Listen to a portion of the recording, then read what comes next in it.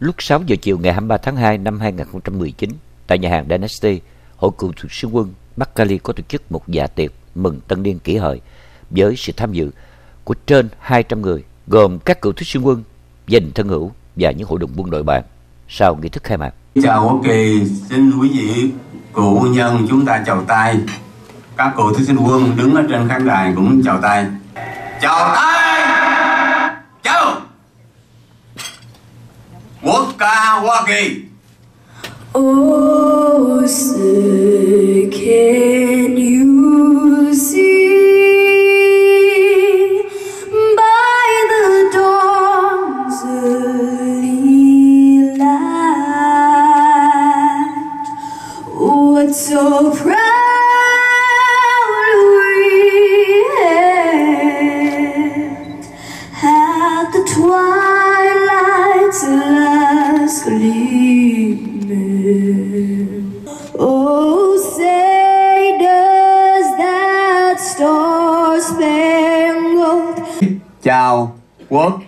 Nam Cộng Hòa. Tất cả chú ý. Nghi! Chào tay. Chào. Quốc ca Việt Nam Cộng Hòa. Này công dân ơi, quốc gia đến ngày giải phóng. Đồng lòng cùng đi hy sinh tích gì thương sông Vì tương lai quốc dân cùng sống phá với tên Làm sao cho núi sông từ nay cho thầy phơi trên cơm dao Thủ nước lai mau, đào đến bao. Nồi sông nước biên phải cơn danh nguy. Hãy tưởng nhớ tất cả đồng bào Đã bỏ mình trên đường vượt biên.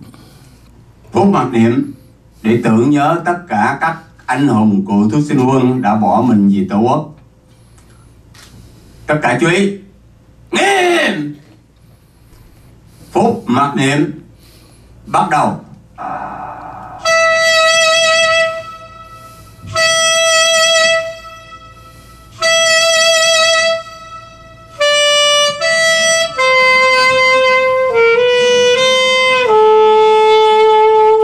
Chúng tôi à, xin mời à, cựu thứ sinh quân trưởng ban tổ chức à, buổi dạ tiệc tân niên kỷ hợi à, lên à, phát biểu cảm tưởng. Dạ, chúng tôi xin mời cựu thứ sinh quân Vi Văn Thành.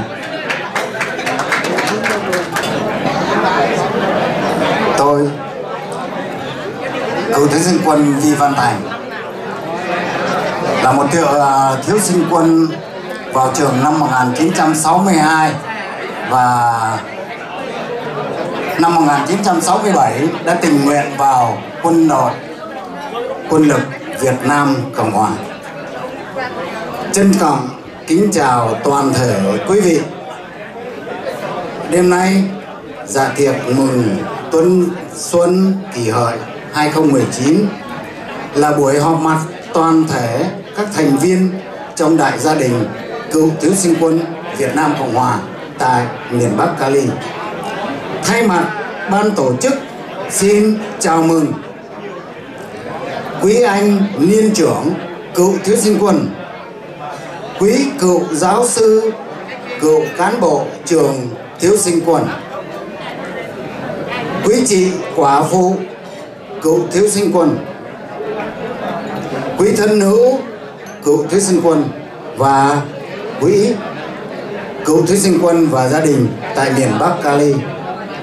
Và có một số anh em ở vùng xa như là tiểu bang Washington DC ở Seattle à, cũng đến tham dự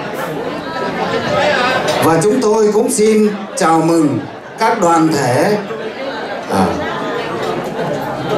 tại miền Bắc Cali đã qua nhiều năm qua luôn đồng hành với hội cựu thí sinh quân Bắc Cali.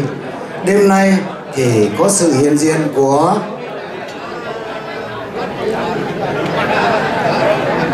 Anthony Phan cùng với gia đình là một à, nghị viên của thành phố Mibitas.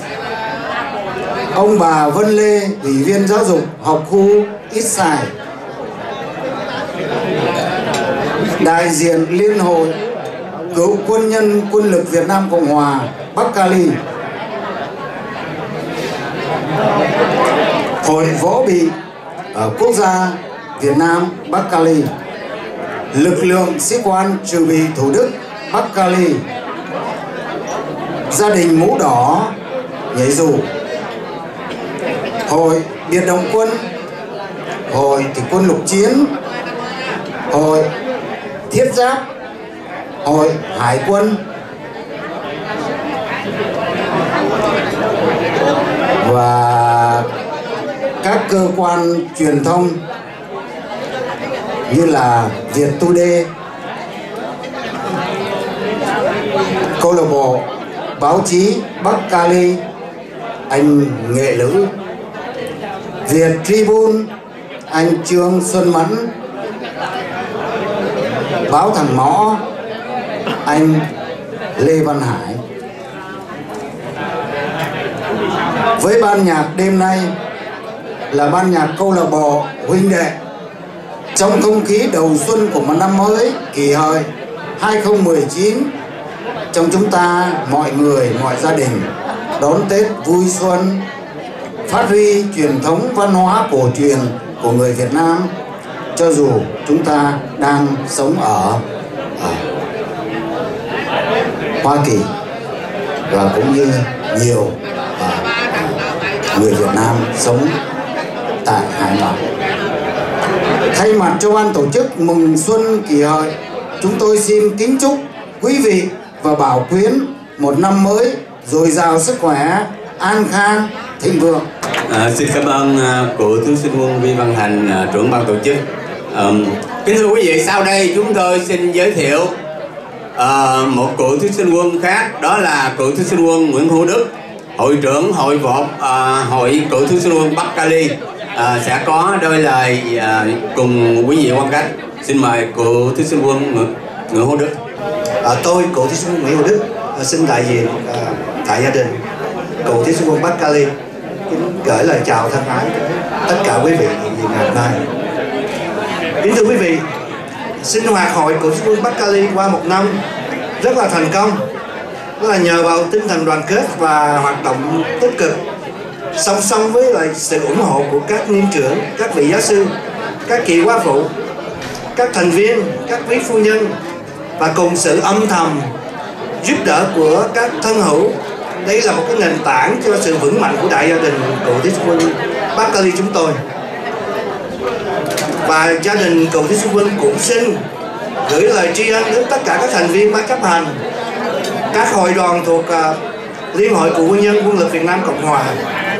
Quý thân hữu cựu thí quân đã luôn nỗ lực uh, giúp đỡ hội nhà trong mọi hoạt động.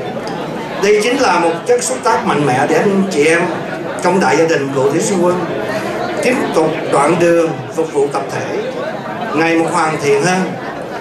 Và kính thưa quý vị hơn 40 năm qua chúng ta là những người lưu vong trên xứ người. Ai cũng mong có ngày trở lại quê hương chiếc bóng cờ vàng ba sọc đỏ.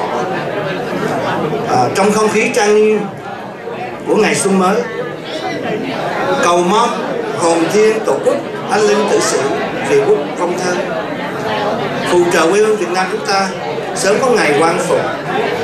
Và tôi cũng xin là ước mong chúng ta luôn thắt chặt tình thân sự đoàn kết, thương yêu giúp đỡ lẫn nhau, để cùng tiếp tục làm rạng danh ba chữ dân chí dũng trong tình tự thí sinh quân.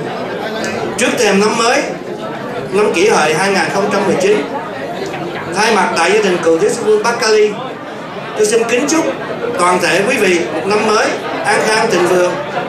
Sức khỏe dồi dào và kính mong quý, quý vị niệm trình bỏ qua những sơ sót nếu có trong việc tổ chức buổi dạ tiệc ngày hôm nay. Chúng tôi xin mời cụ thí sinh quân uh, tổng hội trưởng nguyễn văn nam có uh, đôi lời cùng uh, quý vị trước khi chúng ta bắt đầu buổi dạ tiệc.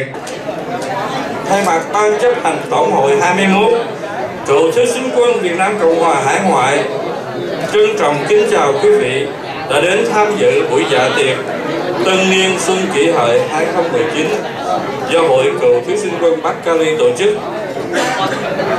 Trước thềm năm mới, Ban chấp hành Tổng hội Cựu Thí sinh quân Việt Nam Cộng hòa Hải ngoại nhiệm kỳ 21 kính chúc quý vị và Bảo Khuyến một năm kỷ hợi dồi dào sức khỏe, an khang thịnh vượng. Trong không khí thân tình, ấm cúng, chúng tôi ghi nhận một số hình ảnh như sau. Ta là cựu sinh quân Việt Nam, mai này đều bước theo đường đàn anh, không để được trường ra lao vì khó, đang chờ đoàn ta hỡi yêu sinh quân.